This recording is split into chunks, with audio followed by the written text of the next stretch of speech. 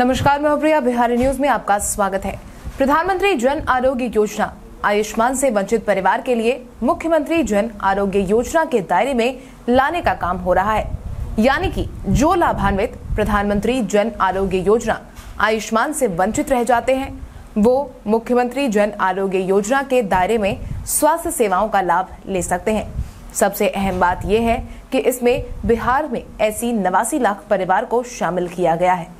इस योजना को प्रभावी बनाने के लिए ही स्वास्थ्य सुरक्षा समिति ने काम करना भी शुरू कर दिया है।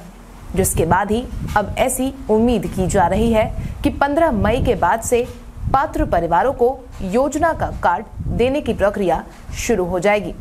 इसको लेकर स्वास्थ्य सुरक्षा समिति ने यह निर्धारित कर लिया है कि मुख्यमंत्री जन आरोग्य योजना के पात्र परिवारों को सबसे पहले पाँच लाख रुपए तक की स्वास्थ्य बीमा का लाभ देने के लिए ही पहचान पत्र बनाकर देने का काम किया जाना है। यानी कि अब जिस तरह से आयुष्मान योजना के लाभार्थी को गोल्डन कार्ड दिया जाता है, उसी तरह इसमें भी पहचान पत्र दिया जाएगा। इसके लिए आधार पंजीयन का काम ज़रूरी किया जाएगा। इसके साथ ही समिति ने अब 15 मई से पात्र परिवारों को पहचान कार्ड देने का मसौदा तैयार कर लिया है। इसमें एक दो दिन आगे पीछे होने की उम्मीद भी जताई जा रही है।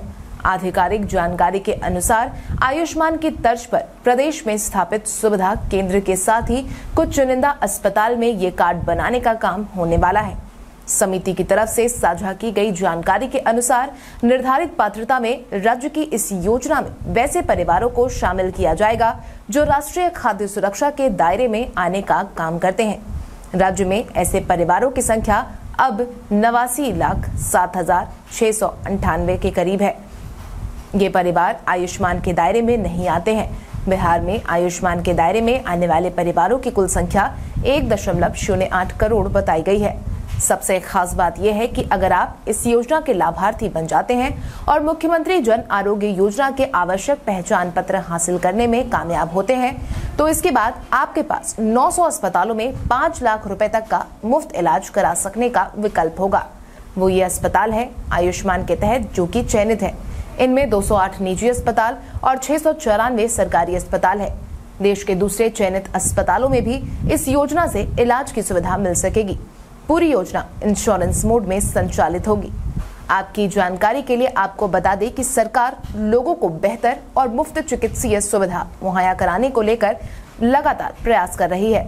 जन आरोग्य योजना लागू होने के बाद लोगों को काफ़ी राहत मिली है।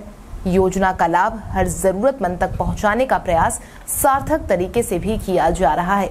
जिसके बाद उम्मीद है कि आने वाले समय में कोई भी बिहार सरकार की मुफ़्त स्वास्थ्य सुविधाओं से वंचित नहीं रहेगा और सरकार की इन योजनाओं का लाभ ज़्यादा से ज़्यादा परिवारों को मिलेगा। इसके साथ ही आज के इस वीडियो में बस इतना ही।